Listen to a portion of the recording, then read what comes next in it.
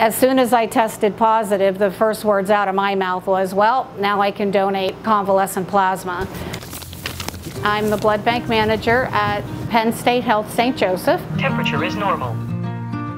I feel it's very important for people to donate. Sometimes uh, convalescent plasma could be someone's last hope.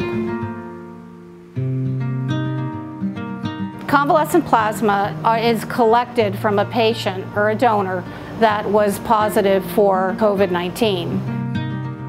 A patient that has COVID will develop antibodies in their blood system.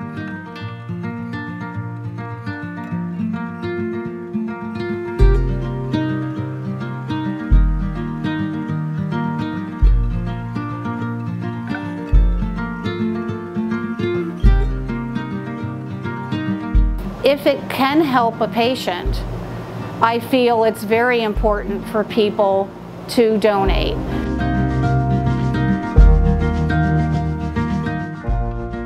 I did contact the Red Cross almost immediately to find out when can I donate and where can I donate.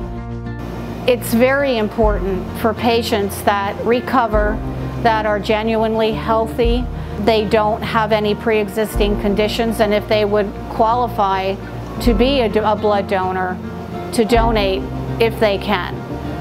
Not only just for convalescent plasma, but for any blood donation.